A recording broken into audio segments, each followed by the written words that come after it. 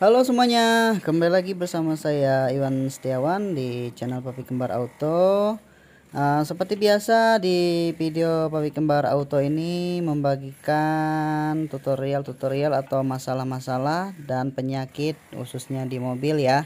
Jadi untuk video kali ini Papi mau pasang uh, tutorial memasang seal injektor kecil maupun besar ya ini sering sekali ditanyakan eh, teman-teman uh, papi itu bagaimanakah cara memasang untuk seal injektor yang bagian atas ya? Karena kebanyakan uh, banyak yang salah memasang pada saat membongkar dia lupa untuk um, memasangnya ya untuk posisinya seperti apa. Oke teman-teman lanjut ke videonya. Jangan lupa ya dukung terus channelnya Papi Kembar Auto Mudah-mudahan dengan dukungan dan doanya Papi tambah semangat lagi untuk berbagi di masalah-masalah dan penyakit-penyakit khususnya di mobil. Oke teman-teman kita lanjut dulu ya. Kita bersihkan dulu nanti baru kita lanjut pemasangan. Nah jadi seperti ini ya teman-teman ya. Jadi untuk uh, komponennya atau penutup klepnya sudah Papi bersihkan ya.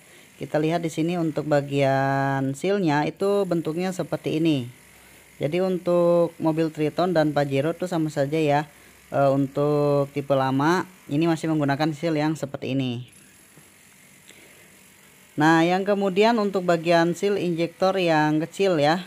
Nah untuk bagian yang kecil dan yang besar ini eh, hati-hati uh, ya jangan sampai terbalik. Kalau terbalik bisa-bisa olinya keluar semua ini. Bisa-bisa bocor olinya ya lur ya dari atas sealnya Nah, nanti kita akan tutorialkan cara pemasangan juga yang uh, mudah ya menggunakan alat press. Jadi, Papi mau coba pasang dengan menggunakan alat press ya, tidak dipukul-pukul. Kalau yang susah ya dipukul aja dikit-dikit ya. Nah, ini alat yang Papi gunakan untuk menggun apa untuk mengepres untuk bagian sealnya ya. Nah, jadi untuk pemasangan seal ini jangan sampai terbalik ya kalau terbalik eh, bisa-bisa uh, untuk oli mesinnya bisa keluar di bagian injektor. Itu sudah banyak ya teman-teman ya. Jadi untuk pemasangan ini mudah-mudahan bermanfaat. Nah yang kecil ini uh, itu uh, hampir bentuknya hampir sama ya. Jadi untuk ada bagian luar dan bagian dalam jangan sampai terbalik ya untuk bagian injektor. Karena untuk injektor juga di bagian pipa kalau terbalik itu positif olinya bocor ya teman-teman. Nah ini untuk barang aslinya kita menggunakan barang original dealer.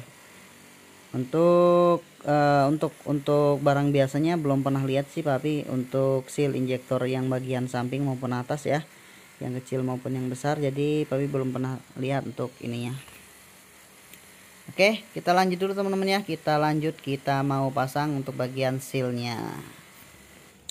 Nah, untuk posisi sealnya ya teman-teman ya. Jadi papi menggunakan alat press untuk memasang uh, sealnya. Nah, untuk posisi posisi sealnya itu menghadap ke bagian atas ya. Jadi untuk uh, uh, posisinya seperti ini ya. Nah, ini papi mau pasang. Jadi posisinya itu jangan sampai terbalik. Nah untuk bagian bolong itu menghadap ke bagian atas ya. Oke nanti kita pasang dulu kita gunakan alat press ya. Kalau papi ya kadang dipukul ya kadang juga di press ya. Lebih enak sih di press jadi langsung masuknya bareng-bareng dan uh, untuk uh, posisinya dia rata ya teman-teman ya. Jadi untuk posisi ini harus diratakan ya jangan sampai miring nah jadi kita pasang dengan alat press dan e, posisinya itu itu harus masuk sedikit ke bagian dalam dan posisinya harus rata ya teman-teman ya. Jadi untuk pemasangannya itu bisa lihat sendiri teman-teman untuk menghadapnya arahnya ke mana ya. Oke nanti kita lanjutkan untuk e, cara pemasangan di bagian seal di bagian pipa nozzle-nya ya Papi nanti gunakan palu dan uh, soket untuk memasangnya.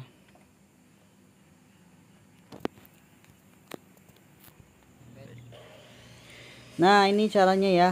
kita menggunakan soket dengan ukuran yang pas di bagian lebar di uh, sealnya nah untuk arahnya untuk bagian yang ada bolongannya itu menghadap ke dalam ya teman-teman ya jadi usahakan untuk pemasangan itu harus e, rata di bagian permukaannya. Karena kalau miring e, takutnya nanti bocor untuk di bagian olinya teman-teman ya. Alhamdulillah lur untuk proses pemasangannya sudah beres ya. Mudah-mudahan uh, cara ini bermanfaat buat teman-teman semua. Jangan sampai kita salah memasang ya. Kalau kalau salah memasang bisa-bisa bocor olinya dari mesin keluar semuanya lur ya. Oke lur semoga bermanfaat buat kita semua. Mantap lur